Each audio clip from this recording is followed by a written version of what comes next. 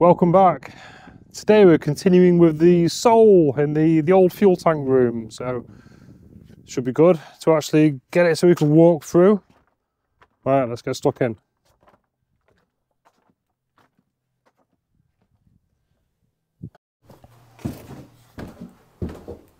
So we left it last time. It's a bare frame, didn't we?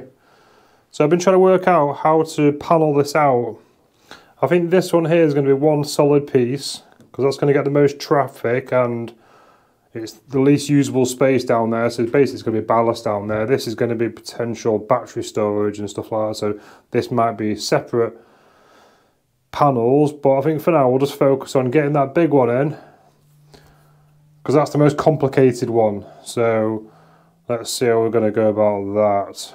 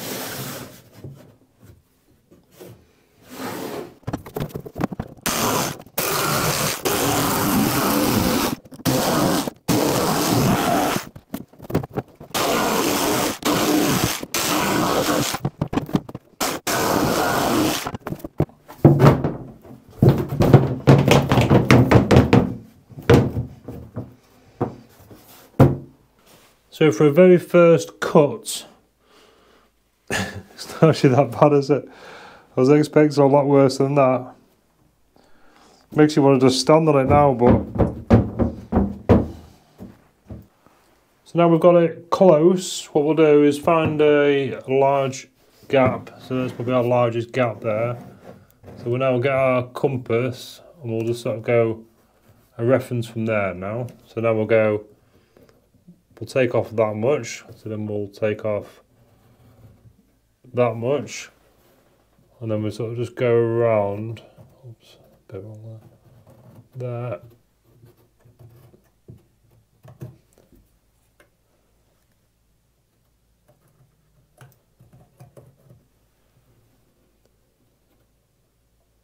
It's hard to do this in film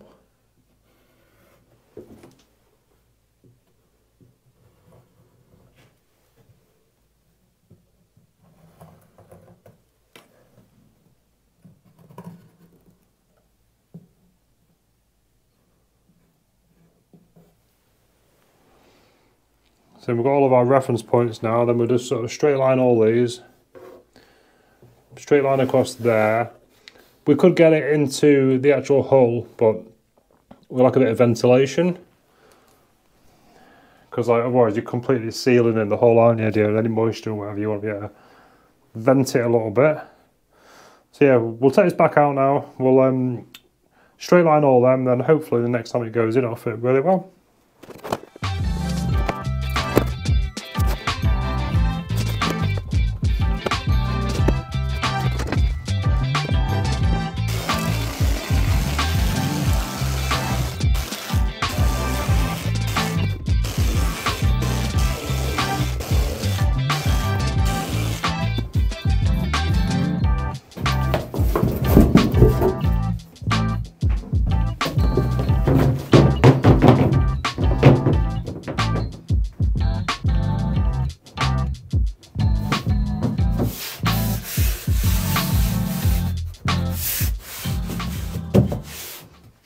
Good enough. So what I did, I marked the centre of the beam. So we know where to cut. So we now put a straight line right across this here now, then that'll land right in the middle of the beam. Right, so the template fits really well now. So what we need to do is, is make it out of marine plywood now. Um, but what we need to do is put an angle on it. So the angle to match the hole, otherwise it'll just be like a bit, bit rubbishy, won't it?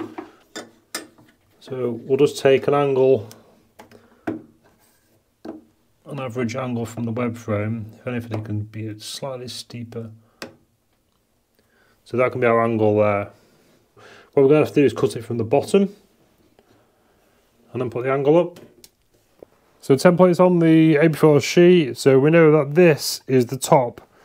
So what we want to do is flip this over and then cut it from the bottom.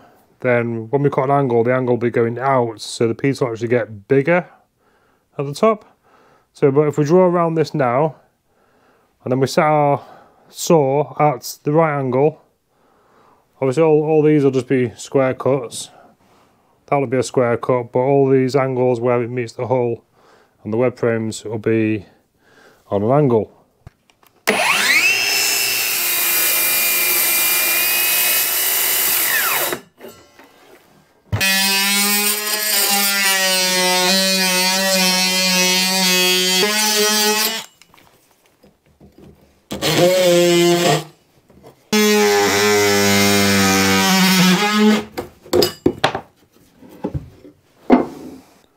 Right, should we go and see if it fits?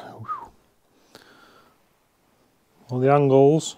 Obviously I've not sanded anything yet because it might need a bit of fine tuning but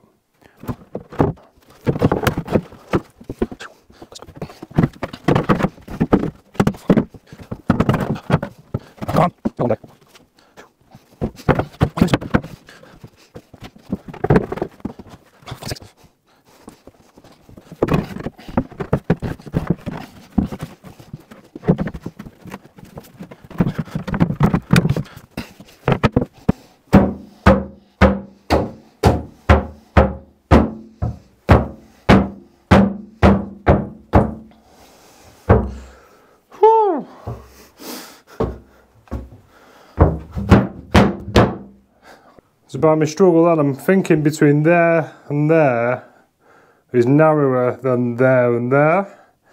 Or is it just technique of getting in? So I think next time it has to go in like that, like that, down and then in. That's a note to my future self. Right, so I think what I'm going to do now is take it back out and then epoxy all the edges and then we can then paint it then, can't we? And then we can then work on the rest of them. I'm out of breath now because of that. That was a fight that. I've just mixed up some epoxy, so we're going to allow epoxy all these end grains now in the plywood, so when they get wet, because you know what we're like, it's get wet somehow, isn't it? So it's gonna, it's got like a tiny bit of thickener in it.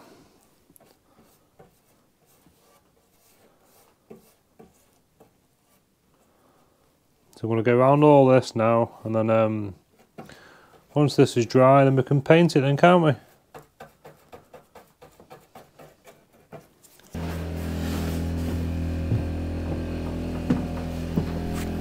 It's dry! And we've got a helper as well today.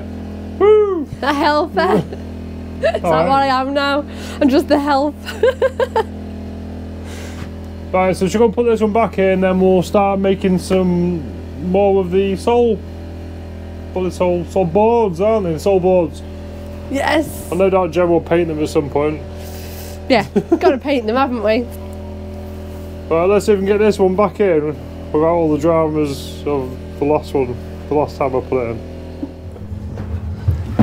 Right, so when I got it out, I figured.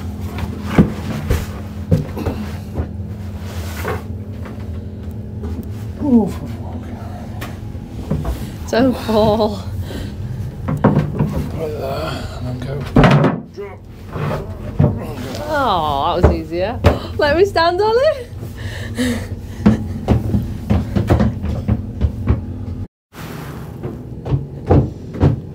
Careful.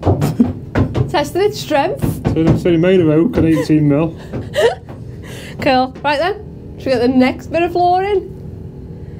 So we've just been having a debate about how to panel this floor.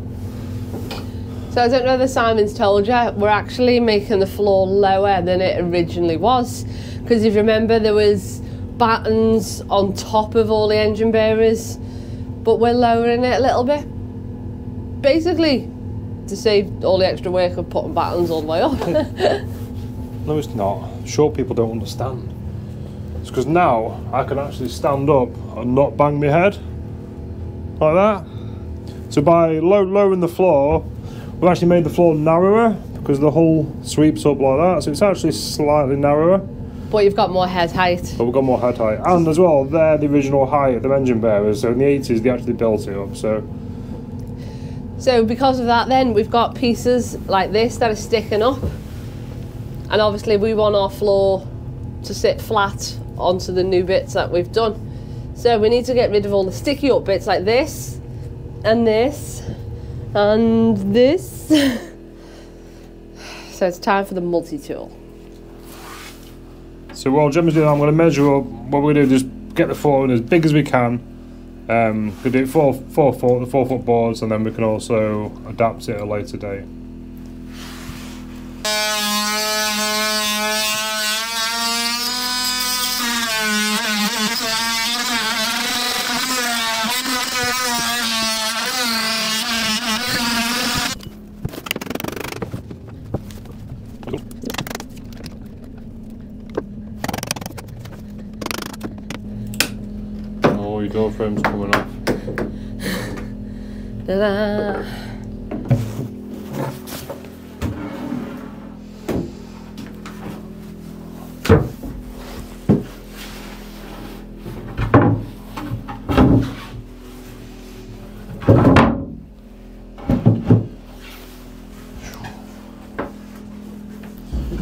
This wire throughout this area of the, all the work on this area has been doing with nothing.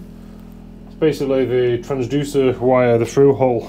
Um, should have pulled out really or unrooted it, but it's kind of in the way all the time. But I think we'll just leave it for now.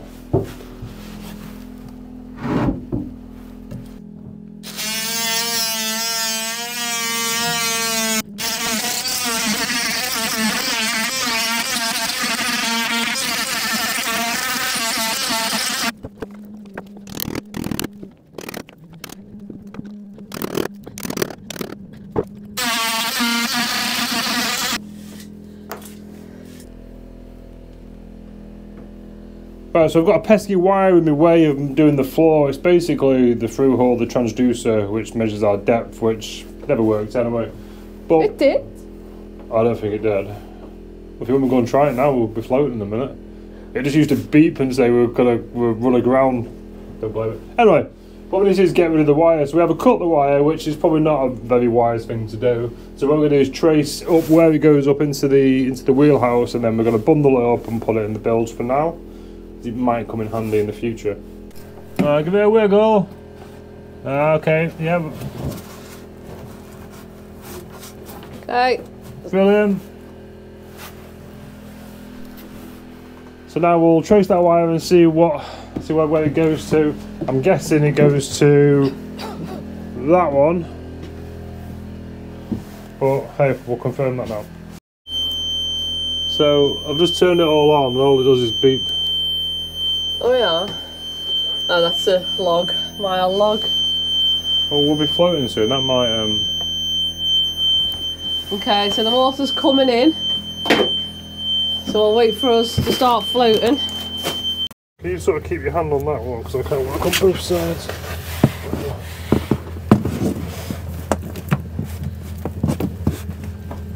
That one? Yeah. Can you see that was coming on? Yes. Let's have a look on the back. Found it. So that's our fish finder. Does it work? Do we need a fish finder? This is a video fish finder. I just switch it on. I don't think we've ever had this on, have we? No. I bet this is like proper classic. it's definitely pre-Raybury, isn't it? Oh, well, there's, a, there's that plug anyway. We've got some power to it. Yeah, let's see if we can fire this up. I know we started off doing woodwork today, but turns out we're trying to figure out why this 1980s fish finder doesn't work. Not that we've ever seen any fish around here, but Yeah, but because that's because we haven't had our fish finder on. oh, okay, maybe. Yeah, we don't need Raymarine. So what's the verdict on that? What's the verdict? What we need to do is trace this. Um... Maybe that's why it doesn't work. You got your multi-tool out. That's so funny. Your multi- right, let's let's throw 24 volt. so that's why the multimeter didn't pick up anything. Oh, hang on, no, it's 12 volts. It's Yeah, I know. volts. How do you know? Because it says it on there. Oh. 12 volt DC fish finder. Okay, let's throw some 12 volts across that and see what happens.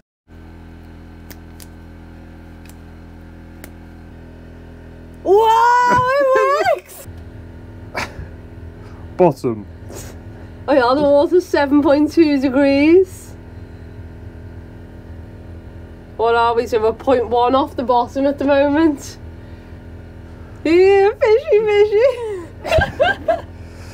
Right, okay, that's uh, that's really cool. Right? So I think we we leave this plugged in for the day, and we'll see if it see if it measures our depth because we're no nowhere near off high water yet. What do you do with it now? Because obviously it's not really much use to us. Is it a classic? Is it actually worth anything? So it's working stably. So now at the moment it's basically, I think they're saying we're like, what was it, 0.1 of a meter. yeah, I think this is the bottom, like the floor. So there's the depth. So there's zero. There's.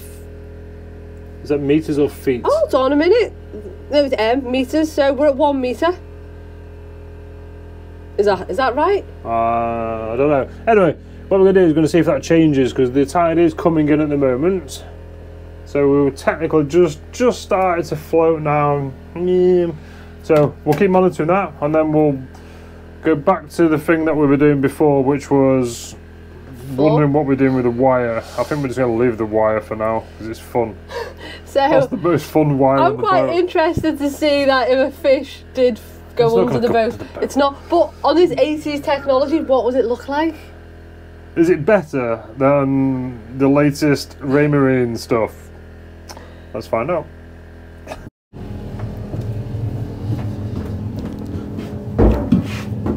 Right, we've got our middle piece in now, and I think what Gemma's preparing for now is she's going to set up to epoxy the edges of these ones.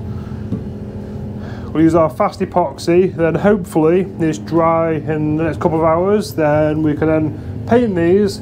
In the meantime, what we need to do is start looking at the, at the port side of the fuel tank room. That hasn't got any fuel tanks in it. So like the starboard side, all of the ply that they've sandwiched this all together with is delaminating. So we need to really change the ply, even though it's not carrying any fuel tanks anymore, is it? All it's going to do is carrying the floor, but we may as well replace the ply, aren't we? Right, let's get it stripped down. So we don't need that, we don't need that, we don't need that. And we know about that. So let's get rid of all these little bits first. And then we'll get into the big bits.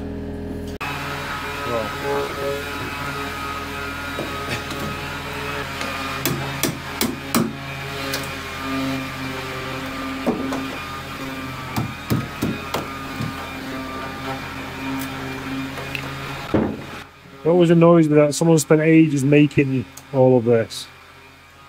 And then someone like me just to come along and strip it all down and throw it in the bin. You okay?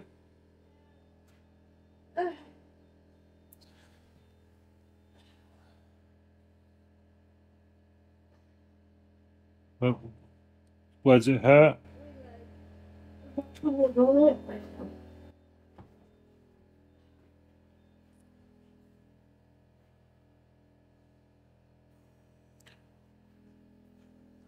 don't know if you guys have ever watched Family Guy. There's that Lois, that ah, ah. So I think we should call Gemma Lois. That really. Well, that shows you bruiser. no, no, look away. ooh, ooh, ooh. Okay, that was quite impressive. I'll take it back, call her Lewis now. That's, that's, that's a good one, that. Phone, can you say that again when I haven't got my phone in shut? so I'm quite impressed. That, that was a good one, that. that hurt. That that really hurt. And I was being Dramatic.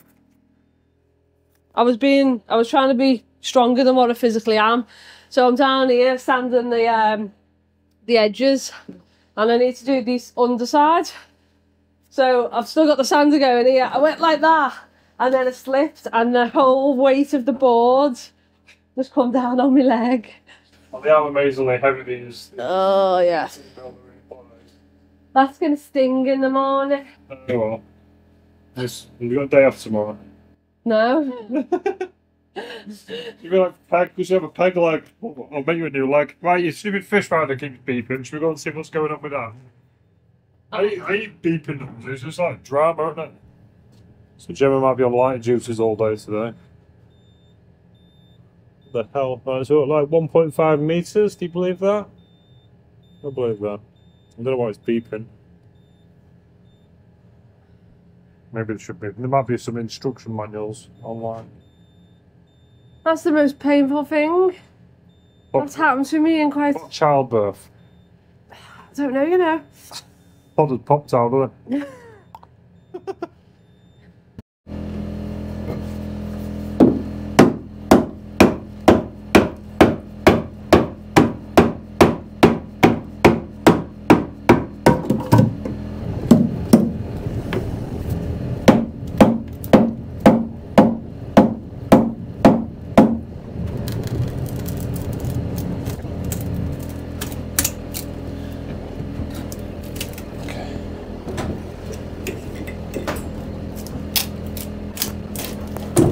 Whew. So I think this big old water pipe can go as well.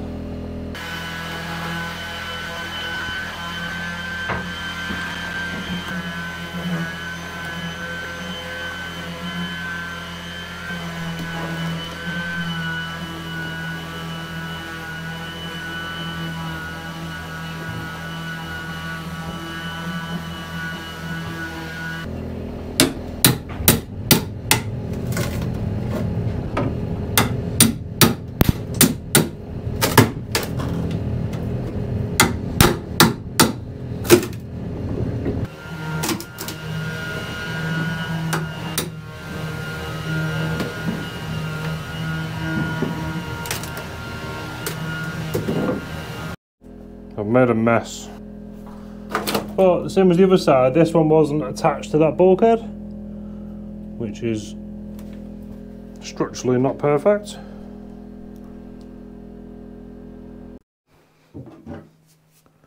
Right, so she's cleaned up a bit. She doesn't look the best, but she's nice and solid.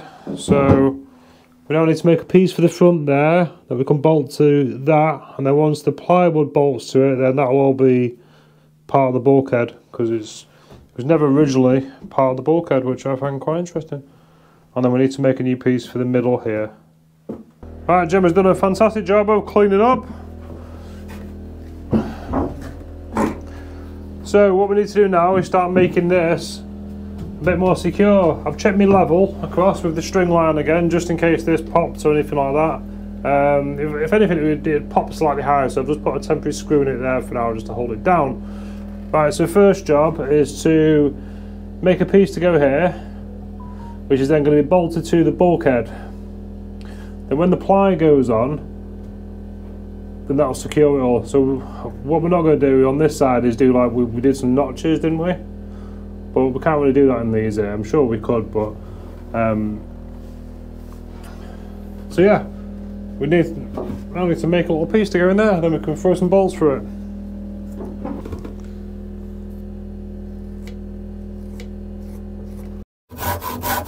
So I'm cutting this by hand because we've got plywood, well painted plywood upstairs drying, so don't want to put any dust upstairs, do we?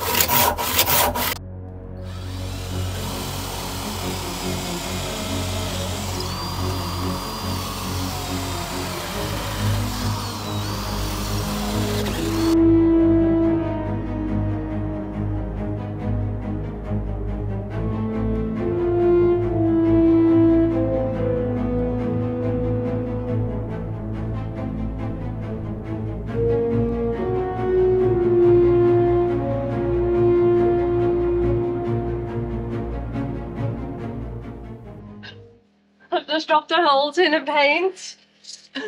but it's the like one of the last tins of paint we've got, so I need to like collect it off the floor. Oh, but it's going down the hole, so you might get a bit of paint on your head down there. That's in the engine room. Right, we're going to inspect the engine room. Might put a bucket under it. well, that's a new place to put paint, isn't it?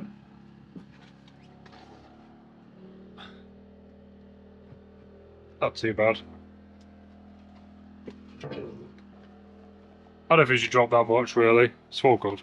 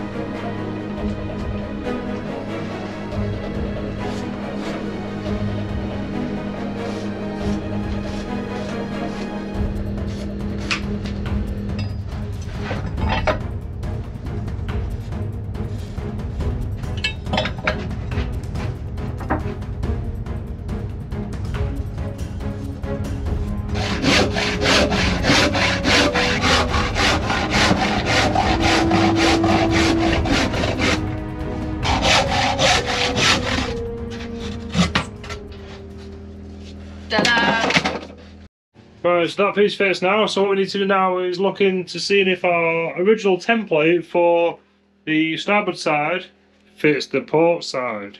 Yes, but because you've glued this bit in, when we put our template in, it's going to get loads of glue everywhere, so I'm just going to tidy up your oozage. You love tidying up, don't you? No. You do!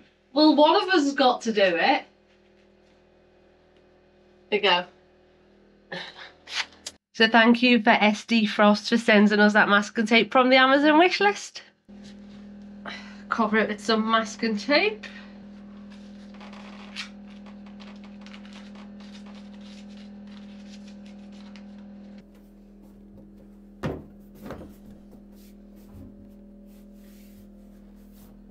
Apart from because this is different on this side of the boat, and I don't actually know what they were for.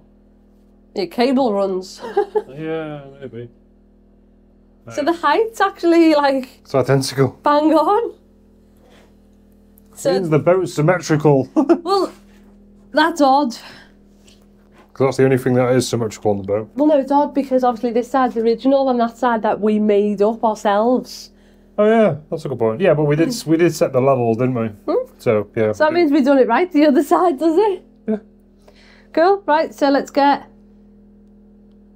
Let's make an alteration to the end here.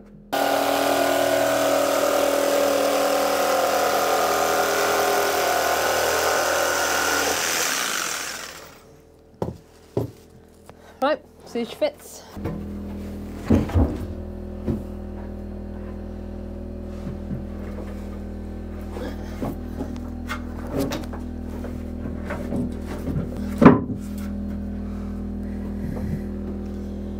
Perfect.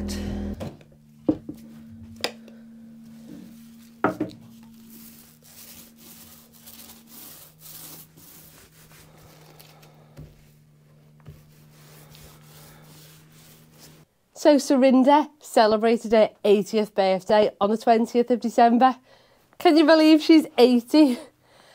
And as a way to celebrate this momentous occasion, we have released a book. This book is about the radar operator that was on our boat in 1944, and he kept a diary of every day, which is so fascinating to read. So we know where Sarinda was every day during 1944. So we've released this book on Amazon. You can get it on an ebook, a paperback version, or a hardback version. And also, there's a lot more information in there about World War II, about all the different ships that were involved, and also a bit of our story. So I'll drop a links in the description if you want to go over and check it out. All the proceeds for the sale of that book will go towards helping restore Sarinda. So now we've just got to wait for the paint to dry and then we can put it all together. That'll be great, won't it? But while waiting for the paint to dry, I'm going to go home and rest my poorly leg because it is killing. So thank you all so much for watching. Please like and subscribe and we'll see you next week. Are they fish, them little lines? I don't know. You reckon there's fish around there, do you? Alright, there's probably a, might be a crab. Might be a log. I don't understand why there's like a solid line now and then like a floor line. Be a double bounce. So we're starting to float more, so you can see the depth's just increased.